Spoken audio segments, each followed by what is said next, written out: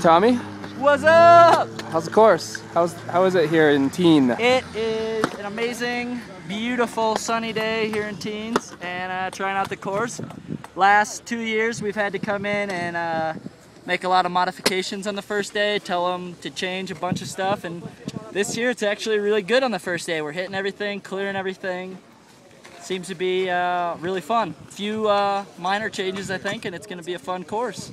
Stoked. Well, good luck this week. Thank you. So, uh, where are we at? We What's going on? Tignes for X Games European Edition. And how was the slopestyle course today?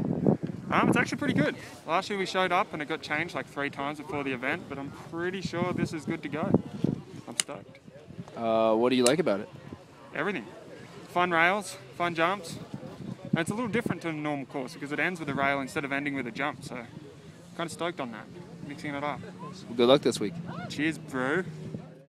How do you like the course, Bobby? Course is sick. I don't know, dude. The weather's perfect. Three good sized jumps and rails, and I don't know, man. I'm stoked. It's gonna be a fun contest. Well, good luck this week. Thank you.